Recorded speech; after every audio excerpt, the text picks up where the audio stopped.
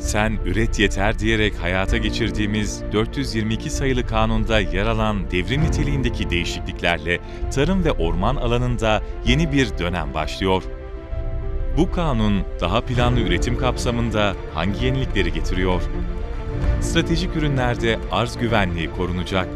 Arz ve talep miktarı dikkate alınacak, böylece tarım havzası veya işletme bazında hangi ürünlerin üretilebileceği belirlenecek. Fazla veya eksik üretimin önüne geçilecek. Çiftçilerimiz ürünlerini kolaylıkla pazarlayabilecek. Türkiye yüzyılı, tarım ve ormancılığın da yüzyılı olacak. Sen üret yeter.